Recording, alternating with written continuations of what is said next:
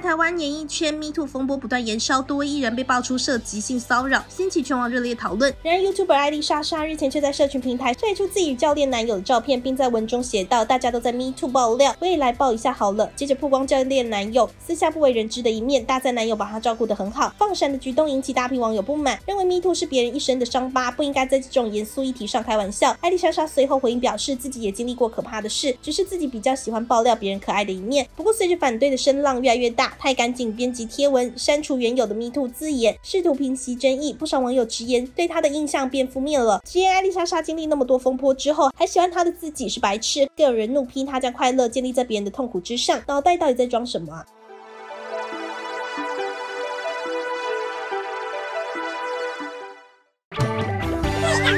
Bye.